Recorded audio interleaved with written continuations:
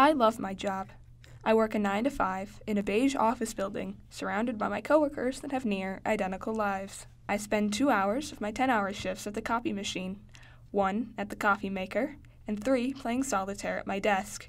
I am an expert at wasting corporate time.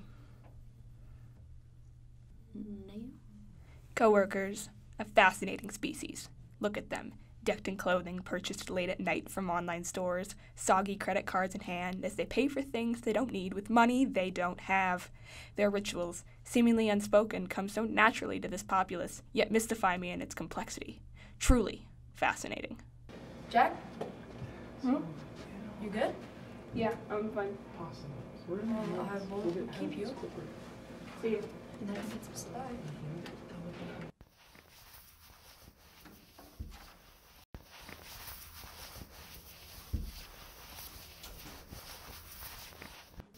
Hey, champ.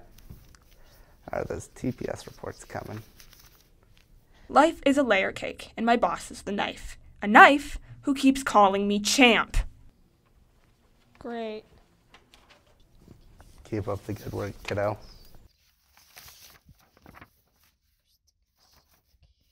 My boss has completely changed the meaning of business casual. From his shoes to his shirt, he is always impeccably dressed. Oh, how I envy his understanding of a suit. I attempt to recreate his looks, but find myself only to be an imposter, a copy of a much better original. Oh, I should remind you. We're having a meeting at 10. Jan's bringing donuts. I'll be there.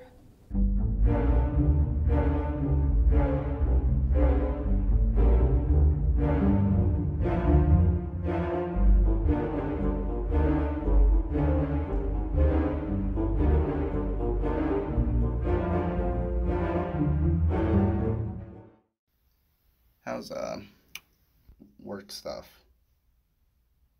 Going good?